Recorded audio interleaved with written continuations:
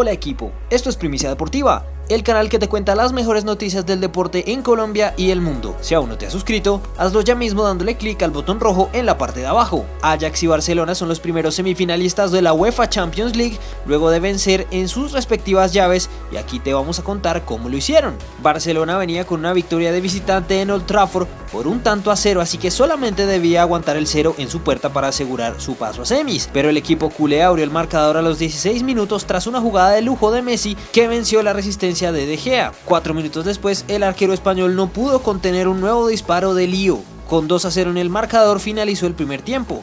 Sobre el minuto 61, Coutinho sentenció el compromiso con un remate fuera del área.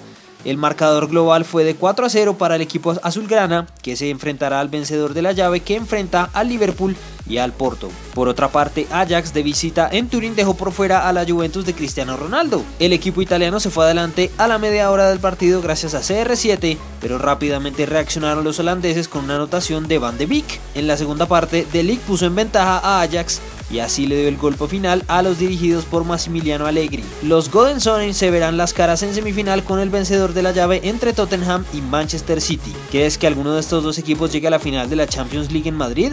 No olvides contestar a los comentarios. Eso fue todo por ahora. Si quieres seguir enterado de todo lo que pasa en el mundo del deporte, dale like a este video y suscríbete a Primicia Deportiva.